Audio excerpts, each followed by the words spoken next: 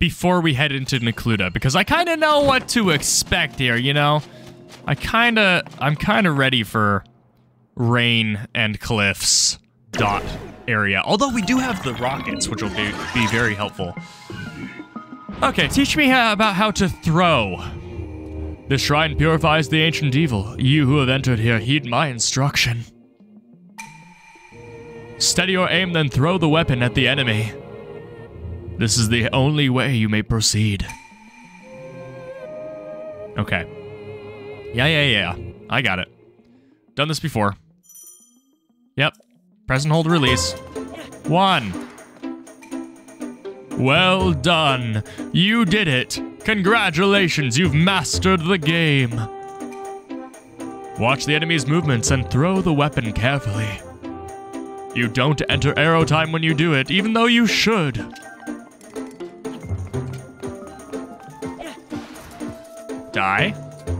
Oh, is that it? Is that it? Really? Okay. Well, I'm going to take these rusty halberds with me, and I'm going to throw them at people. You have proven your mastery. Now proceed to the innermost chamber. I wonder if anyone actually kind of understands uh, what voice I'm giving there. It's not... I'm not actually doing the impression right now, but I am channeling the same uh, the same uh, vocal range um, as a certain character from one of the Xenoblade games. So if you you can guess, that would that'd be cool. I have said it once or twice before. Mo Moti Zynote Spear. I've said that before. Drop.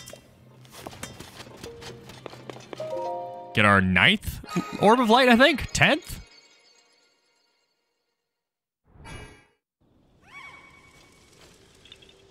All right, Korok, where's your friend? Where, where are you? There you are. Yep, you need to reach your friend. Where is your friend? Across the world. Okay. All right. That's fine. Look at him. Uh, I don't need the light. Get out here. Is this a tractor? this is just a tractor. Let's go.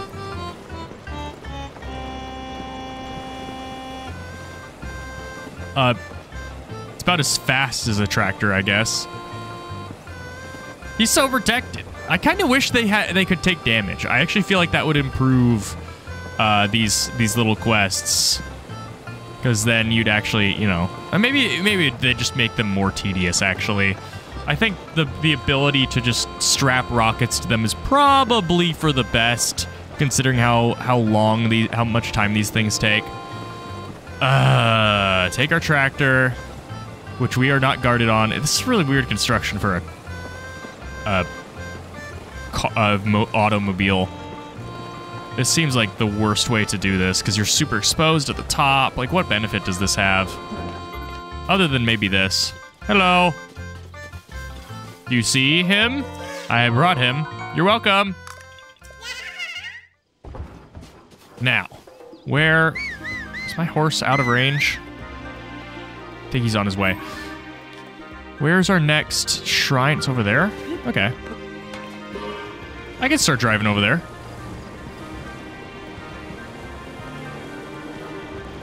Yeah.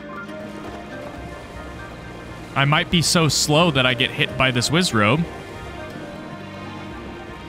Oh my word, this thing's so slow. I might not even be able to get through this area, actually.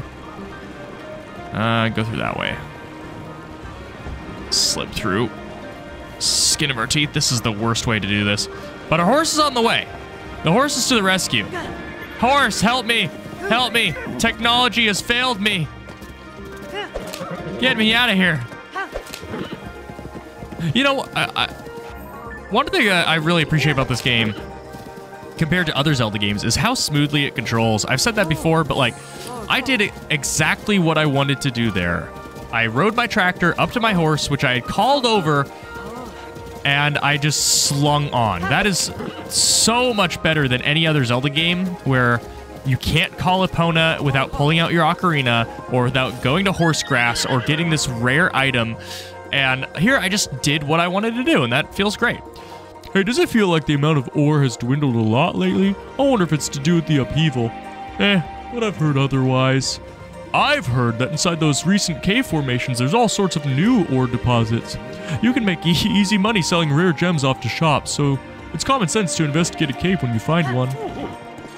What are you doing? I, how dare you use a horse? Oh, have we been to that stable?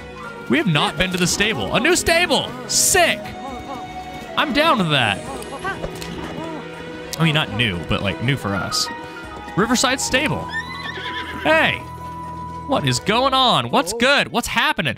Hey there, welcome to Riverside Stable. Thank you for supporting the Stable Association. Since it's your first time here, we'll add one point to your pointy, pointy points, your pointy points. Reward available.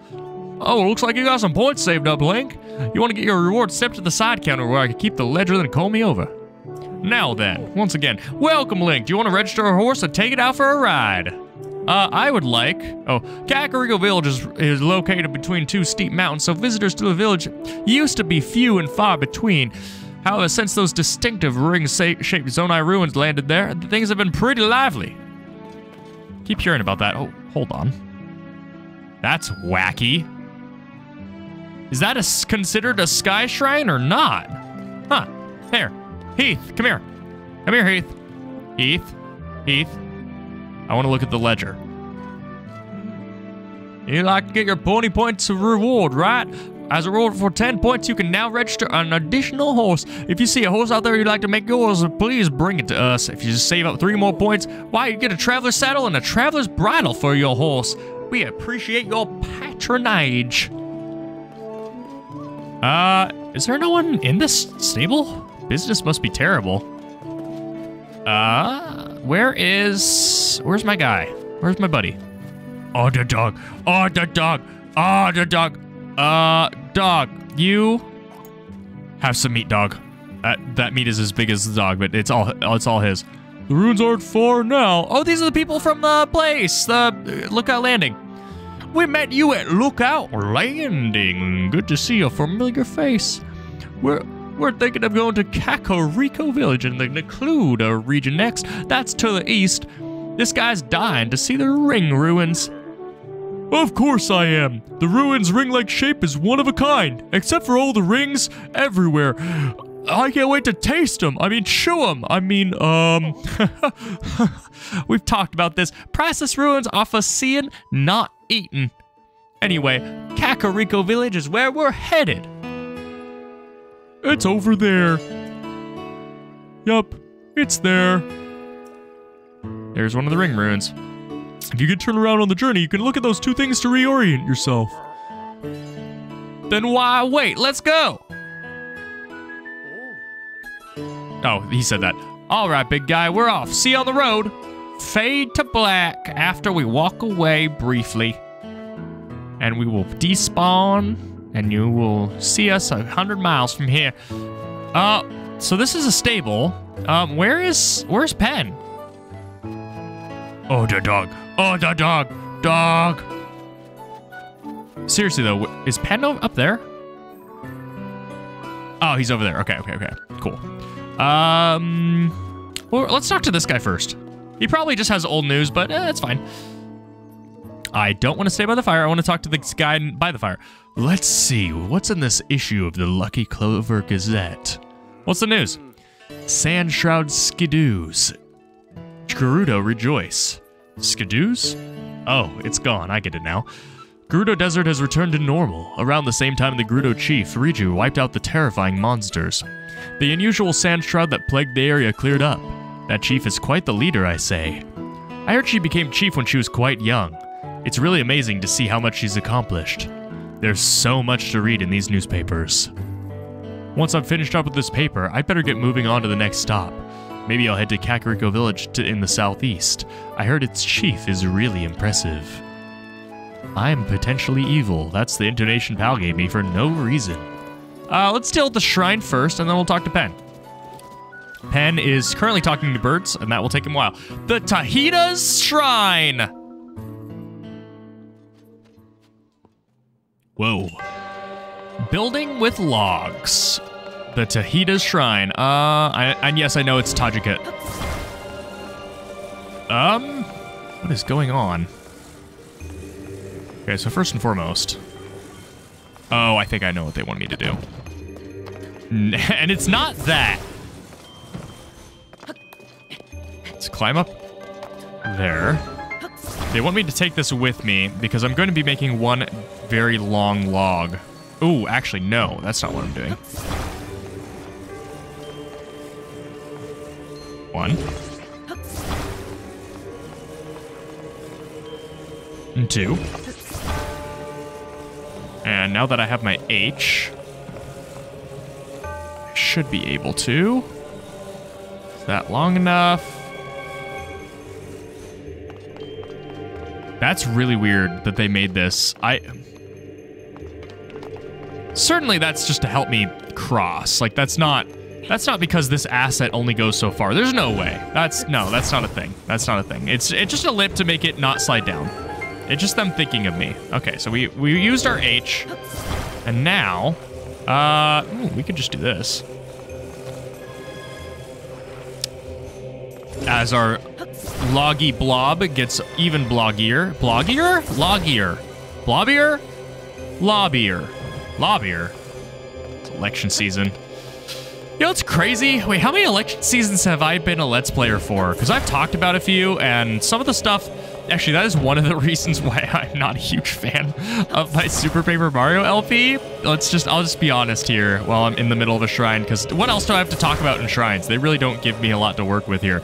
Uh, I I state a, a, political opinion in the uh, the Super Paper Mario Let's Play that I do not stand. Actually, I think it's long enough. I don't stand by anymore. Um, so if any of if anybody's like, hey, this pal guy's kind of cool. I'm new to the channel. I'm gonna... Uh-oh. Uh. Okay, sure. I'm gonna watch all of his old series, and for some reason, for some reason, the Super Paper Mario LP is one of my most popular. I don't actually understand why. I actually kind of like this shrine. This shrine's kind of cool. Um, can I have my H back, actually? I really like... I really like my H. Yeah, I, I state a political opinion in that Let's Play. I do not stand by anymore. A lot has happened since then. Um, so if you are deciding to watch that LP and you're like, wow, Pal has that opinion. No, I don't. I don't. I do not. uh, a pandemic has happened since then. And I'm not going to state my political opinion now in an election season, no less. That's just a bad idea. I mean, it's not a terrible idea. I don't really mind talking about politics in episodes, but I just gotta leave it at that, so I don't have possibly another, um, another Super Paper Mario moment. I want to like this Let's Play, although that's not the only reason why I didn't particularly enjoy that game. There we go. Chest over here. I, I actually really like this shrine. I don't know why. It just... I kind of vibe with it. It's just cool to be bringing pieces and slowly... You know, I think that's that's why. A spiky shield. Um, I'm gonna have to drop this and then drop the shield because I want to open the chest. Yeah, it, it's it's kind of cool to have a contraption and kind of take it with us the entire way and slowly add to it. I wish more shrines were like that. Because then it would teach us stuff that we might want to make. Also, I'm kind of sad the chest wasn't behind the waterfall. Behind Stuff behind waterfalls is just cool. There's a there's a, a trail near where I live that I've hiked like three or four times now. And it has uh it has a, a giant waterfall and uh, the path goes behind it. It's so cool. It's so cool. I've hiked it in winter too, where it was frozen. Oh, that was awesome. All right. Come on, horse. I kind of wish that I could lead my horse by the by the bridle. I think that'd be neat. Just just so I can walk along while holding it and it would follow me. oh, sorry. I should have killed the I should have killed the birds actually. I should have just blown them all up. I've been hearing some chirps and warbles from my my little fellow birds.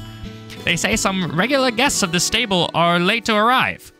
Very late. Oh, so it wasn't just me. That was a real thing. the chef here, Gotter, was going to meet with them to learn a new recipe, one that Princess Zelda taught them. Hmm, my keen reporter instincts say something is wrong here. Gotter has been over there waiting for the guests to, arrive. He's barely moved this whole time. Let's see.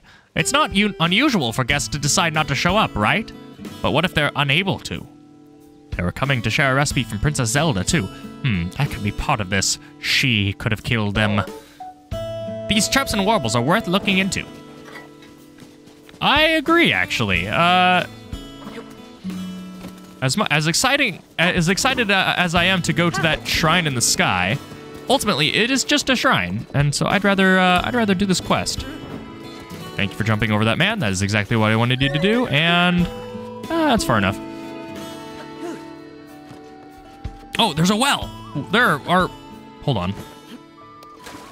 There are wells that we need to explore. Did I miss one? Hold on. Sir. No, no, okay. Totally forgot about that. What is that? Oh, it's a chest. Come on. It's a little bit too high. Um. Well then, drop this. That should that should work. Got it. That almost killed me. I kind of miss the days when everything killed me because I know that that thing wouldn't kill me. Uh, throwing spear, I do. That's better than some of the other garbage I have right now. Yeah, I should probably. I should upgrade some of my weapons, but we're kind of in a peaceful area of the map, so I don't think it's very important that I do that. Um, how does I forget? How does ascending into water work? What happens? Oh, just nothing. We can just pop out. Cool. Chickens! Wait, hold on. Hold on. This is the first time. Wow, that took nothing. Can I shield bash the chickens? I don't think so. Can I flurry rush the chickens? Cuckoos! Cuckoos! Yeah, I'm gonna do it again. Oh, I get bird eggs from this. Oh, it's actually good to do this. I get a bird egg each time I hit, I hit one for the first time. Yeah. okay, let's uh let's talk to this guy. Where is this guy? He's over there. Save me, Cletus. okay, there we go. Some something isn't right. Agus and the rest would ha- have to cross that bridge to get here, but Oh, I didn't notice you there. Are you a customer? If you're looking for ser- stable services, head on over to the counter. I'm waiting here to greet some guests we were expecting, but it's well past when they said they would be arriving. I'm extremely worried. They've always crossed Owlan Bridge. Owlan from Skyward Sword? Oramus? In the past, when they were coming here, I figured I'd, I, if I kept an eye on the bridge, I'd catch sight of them eventually. The guests are all gourmets. Their leader, a chef named Agus, has taught me a lot about cooking. They were all excited to visit, and I was looking forward to it. They have a recipe from Princess Zelda to share. Hmm.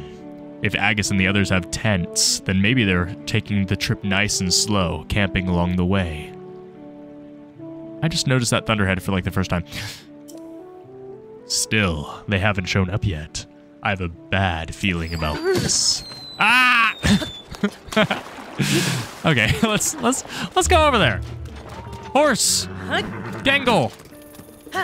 Twilight Princess reference. I should make all my horses reference old Zelda games. That'd be kind of cool. Who are you? Are you old? No, you're. No, you're just a woman. Oh, hey, hello. I keep hearing about the stylish clothes they make in Hateno Village. Take it from me, you can't underestimate the power of a good wardrobe. I used to be a total wallflower. Then I I learned how to dress myself, and boom, I was a new woman. That's that's me, except for the woman part. I I spent like six, seven, no, eight hundred dollars on clothes this year, and it's nice to finally dress how I want to look. Maybe you should go to H- Hateno Village and try a new look for yourself. You could certainly use it. It's located on the far side of Necluda in southeast Hyrule. Never know, it might change your life. Indeed.